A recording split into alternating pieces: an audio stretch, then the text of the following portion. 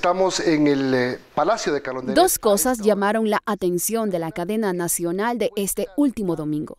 Empecemos por las declaraciones del jefe de Estado Guillermo Lazo en relación a Hernán Luque, funcionario de su gobierno, hasta diciembre del 2022, quien dicho sea de paso, ya no se encuentra en el país. Hernán Luque salió del gobierno porque con absoluta franqueza no sentía confianza en él, porque no tenía la certeza de que habría comprendido que este es un gobierno que lucha contra la corrupción.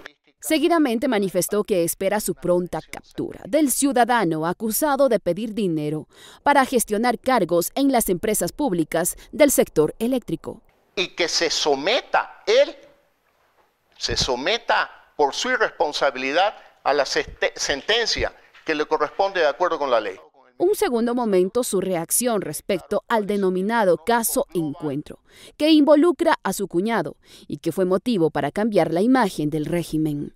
¿Cómo le cayó cuando le pusieron el nombre caso Encuentro? Me parece un desatino. Que le obligó además al gobierno a cambiar el eslogan. Sí, me parece un desatino que revela claramente la intencionalidad política de causarle daño a mi gobierno. Daño a tal punto que se refirió a un golpe de Estado.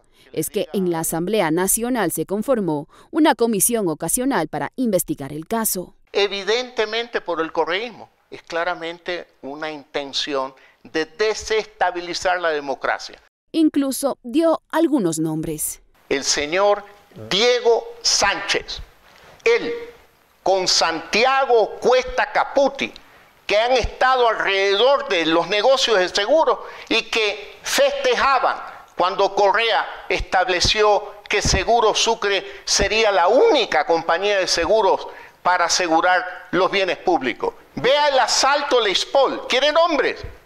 José Serrano, aquel ministro de gobierno de Correa y de Moreno. Liliana Llanes, Pero lo primero Televisión. es que sepan todos los involucrados en el